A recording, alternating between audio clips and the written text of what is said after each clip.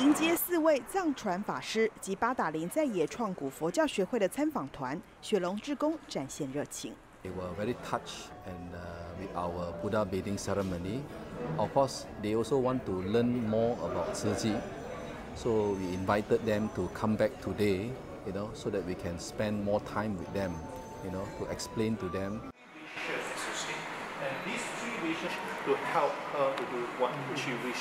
参访团在新落成的静思展览馆见证美善足迹。 Many things you guys, the first you reach and help that's one of the very amazing things, saving other lives. We, we do something good, people will come.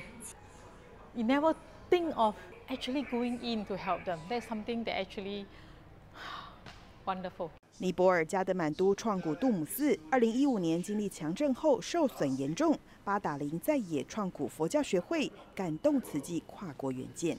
When we went there in 2016 to see the building, it was heart-wrecking.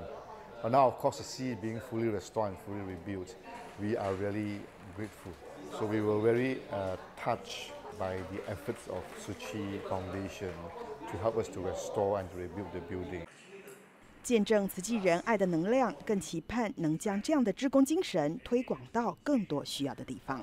大爱新闻，这善美志工胡永雄、王日发、钟开安，马来西亚报道。双河金丝堂开。